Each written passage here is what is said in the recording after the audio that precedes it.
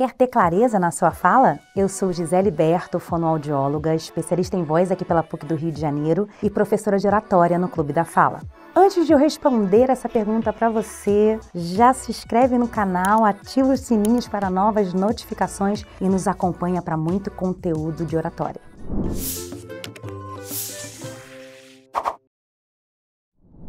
Ter clareza na fala, é preciso você entender o que é isso, o que é ter clareza na fala. A pessoa que fala de forma clara, ela transmite o seu discurso de forma objetiva, de forma coerente, de forma que o ouvinte compreende. Quando o ouvinte compreende, entende o que foi dito, você teve êxito na sua fala. E o bom orador consegue fazer isso em qualquer tipo de público. Você não precisa necessariamente ser um grande palestrante que fala para mil pessoas, 300 pessoas, não. Você pode ser um bom orador, inclusive no seu meio social, por exemplo, seja numa reunião de trabalho, seja numa palestra grande ou em família, num jantar. É muito importante que você se faça ser entendido e compreendido. Você já se fez a pergunta: ai meu Deus, será que eu fui entendido? Ai, será que eu consegui me colocar bem nas minhas falas, nas minhas palavras? Será que quem estava me ouvindo entendeu exatamente o que eu estava querendo dizer? Se você já se fez essa pergunta, você precisa prestar atenção no que eu vou te dizer agora. Existem muitos recursos para que você tenha clareza na sua fala. É importante você identificar, então, quais são as suas dificuldades. Que dificuldade você está tendo para que o outro te entenda? A gente recebe muitos alunos que dizem: Ah, minha voz é muito fina, é muito aguda. Ou não, minha voz é muito grossa, muito grave. Ou eu tenho dificuldade de pronunciar alguns fonemas, eu não consigo falar direito algumas palavras. Ou eu falo rápido demais, ou devagar demais. Talvez você seja aquela pessoa que fique preocupado que a sua boca fica muito aberta enquanto você fala, ou fique com a boca muito fechada enquanto você está falando, ou você seja aquela pessoa que diz assim: a minha voz é muito fraca na hora de falar. Eu, inclusive, tenho cansaço quando eu vou produzir algum tipo de fala mais demorada, não tenho força na minha fala. Ou talvez você seja aquele que fala forte demais com muita intensidade. Alguns alunos dizem aqui: eu fico muito travado na hora de falar, eu travo demais. Esse é o problema para que as pessoas me compreendam. Percebeu quantos parâmetros para você identificar se você tem clareza ou não na sua voz e na sua fala?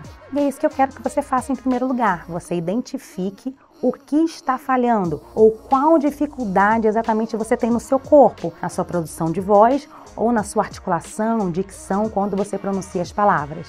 Você tem alguma dificuldade técnica? Você tem alguma coisa que a gente precisa mexer, trabalhar ou de ajuda de algum profissional específico? Porque se você identificar qual é a questão, com certeza você vai aprimorar e melhorar o seu instrumento, que é um instrumento poderoso, na sua comunicação, o instrumento da voz e o instrumento para a fala. Dê atenção a como os fonemas estão sendo bem articulados. Articule bem os fonemas. Preste atenção como é que estão os parâmetros de volume da sua voz. Está alto demais o tempo todo ou está o tempo todo falando baixinho demais? Isso precisa ser equilibrado. 3. Coordenação pneumofônica. Você precisa ter controle da sua respiração. Essa respiração precisa ser diafragmática, você precisa controlar isso. E ter organização na sua fala. Até isso tem técnica. Organização na fala fala do preparo, de introdução, desenvolvimento, da conclusão, como você vai fazer isso, qual vai ser a estrutura, ou se você vai usar técnicas de improviso. Tudo tem técnica, gente.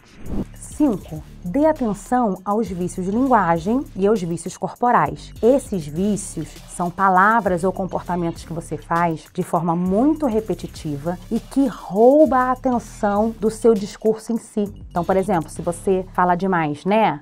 Né, né, né, né. A pessoa que está ouvindo deixa de prestar atenção exatamente na sua mensagem e começa a prestar atenção nos seus vícios de linguagem ou corporal. Você passa toda hora, por exemplo, a mão no seu cabelo, isso se torna um vício corporal. Você que identificou que você tem dificuldade nesses parâmetros que eu acabei de citar, ou talvez você disse assim: ah, são todos, eu tenho todas essas questões. Calma, não se desespere. Procure o Clube da Fala e desenvolva a sua comunicação. Seja um ótimo orador que tem clareza, um orador que se faz ser compreendido e entendido em toda a sua entrega de fala.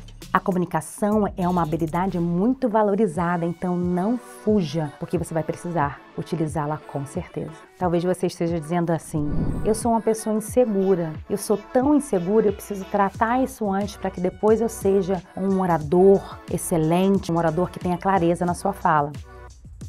Não é assim. A falta de clareza na sua comunicação é que gera insegurança. E não você é inseguro porque você tem falta de clareza na sua comunicação. Então trate isso o quanto antes. Gostou desse conteúdo? Fez sentido para você? Então compartilhe com alguém que precisa ouvir isso. Tchau!